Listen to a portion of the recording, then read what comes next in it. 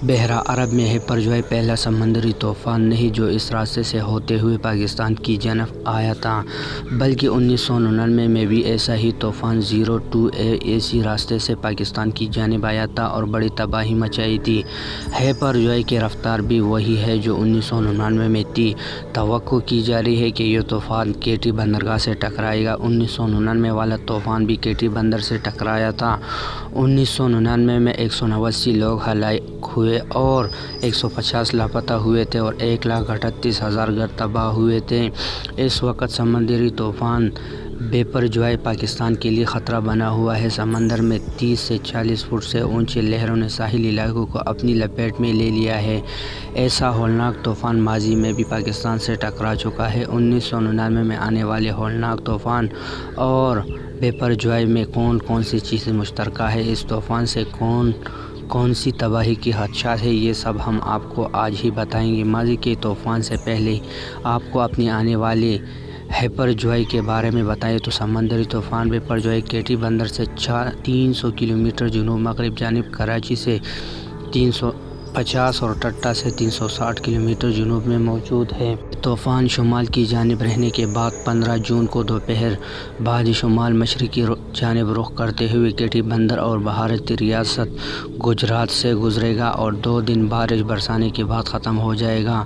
ताहम इस दौरान ऊँची लहरों की बात सिंध की साहिली इलाकों में सैलाब का ख़तरा, माहरीन का कहना है कि समंदरी तूफ़ान की शिद्दत में कुछ कमी आई है और कराची में ख़तरनाक सूरत हाल नहीं क्योंकि साइक्लोन कराची के जुनूब से निकल जाएगा अलबत् कराची में आज हल्की और दरमिया बारिश का इम्कान है और शहर में जमेरात और जुमे को तेज़ बारिश हो सकती है। कराची में समंदरी तूफ़ान के असरा के बाद हक्स बेसमंदरी और तोयानी बढ़ गई है। हक्स के साहिल पर ऊँची लहरें हैं, जबकि स्टैंडबर्ड के मकाम पर भी तेज़ ऊँची लहरों के बाद रोड पर पानी आ रहा है। तूफ़ान के बाद कराची में जून का मामूल का मौसम रहेगा। शहर में समंदरी हवाई भी बहाल हो जाएगी, जबकि दर्जा हरारत पैंतीस से छत्तीस सेंटीग्रेड के दरमियान रहेगा।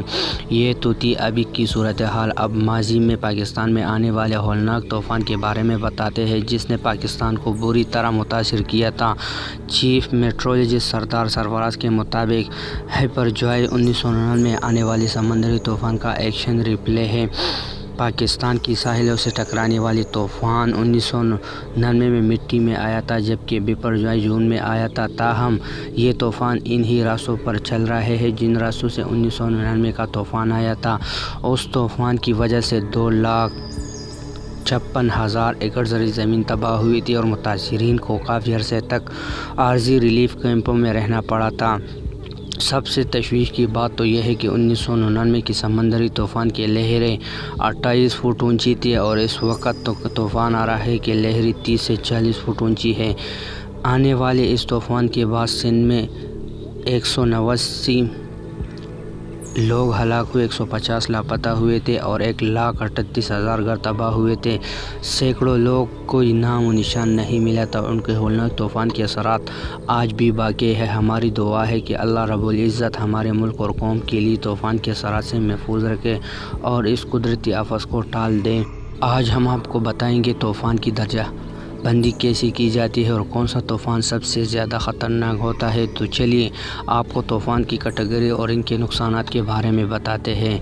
नंबर एक कैटेगरी वन, समंदरी तूफ़ान की कम तरीन कैटेगरी होती है। इस कैटेगरी के तूफ़ानों की रफ्तार हदूदन 119 से एक सौ तिरपन किलोमीटर फ़ी घंटे से कम होती है और इसकी हवा की रफ्तार भी कम होती है। ये तूफ़ान अमूमन कम तबाही पैदा करती है और ज़्यादा ख़तरे का सामना नहीं करवाते, लेकिन इस कैटेगरी के तूफ़ान में भी कमज़ोरी मकाम दरख्तों और बिजली की तारों को ख़तरा होता है। कैटेगरी नंबर दो तो दूसरों कैटेगरी में तूफ़ान की रफ्तार एक किलोमीटर फ़ी घंटा तक होती है। यह तूफ़ान पहले से ज़्यादा ताकत रखती है। इस तूफ़ान में घरों की छतें उड़ जाती है, खिड़कियाँ और दीवारों को नुकसान पहुँचता है। दरख्तों और बिजली की तारों पर भी इसका बुरा असर होता है। कैटेगरी नंबर तीन तूफ़ानों की रफ़्तार 178 से 208 किलोमीटर फ़ी घंटा तक होती है। ये तूफ़ान काफ़ी तबाहकुन होता है। इस के तूफ़ान में घरों को काफ़ी नुकसान पहुँचता है। तेज़ हवाओं की वजह से कच्ची इमारतें गिरने का ख़तरा होता है। दरख्त जड़ों से उगड़ जाते हैं और तूफ़ान बारिश की वजह से सैलाब की सूरत हाल पैदा हो जाती है। कैटेगरी नंबर तीन। नंबर चार। इस कैटेगरी के तूफ़ानों की रफ़्तार दो सौ उन्नीस दो सौ इक्यावन किलोमीटर फ़ी घंटा तक होती है। ये तूफ़ान बहुत ज़्यादा तबाही अपने साथ ले आता है। कैटेगरी नंबर फोर के तूफ़ान से मज़बूत बंदरगाहों को सबसे पहले नुकसान होता है। मकाना ज़मीन बोस हो जाते हैं, दरख्त उकड़ जाते हैं, बिजली के खंभे हवा में उड़ जाते हैं। तूफ़ान, बारिश से सैलाब की सूरत हाल से कम से कम 10 किलोमीटर का इलाका मुतासर होता है। कैटेगरी नंबर पाँच, कैटेगरी पाँच समंदरी तूफ़ान के सबसे ज़्यादा ख़तरनाक कैटेगरी होती है। इस तूफ़ान में हवा की रफ़्तार दो सौ बावन किलोमीटर फ़ी घंटा से ज़्यादा होती है। ये तूफ़ान बहुत ज़्यादा तबाही अपने साथ लेता है और अमूमन साहली इलाकों को बिल्कुल बर्बाद कर देता है।